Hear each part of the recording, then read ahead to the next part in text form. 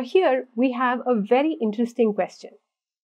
When you read it, it's a very short sentence with three blanks. So, I like it because it's short, but also because the logic is very clear. This blank, comma, blank man. Now, whenever you are describing a person and you are putting two adjectives in succession, normally these two adjectives are not going to contradict each other. So, this is the first thing that you should pay attention to. The second thing that you need to pay attention to is the word the. When you say this man was actually the blank manager, we kind of need to know that after the word the, we need to use a superlative adjective.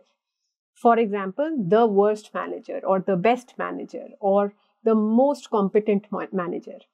Now, keeping this in mind, let's evaluate our options. Now, there are quite a few difficult words here, so please ensure that you learn these words once the video is done. Now, let's take a look at our options. The first option uses the word assiduous, which is a word that many of us may not know. It means hardworking, diligent, careful. And then you have another difficult word right after that, ludicrous, which means foolish, illogical, unreasonable. Now, can I use these words consecutively? Not really. Because when you're describing this man, there is nothing to indicate a contradiction between the two words. If I had said that this man was hardworking but dishonest, then I am allowed to say two very different things.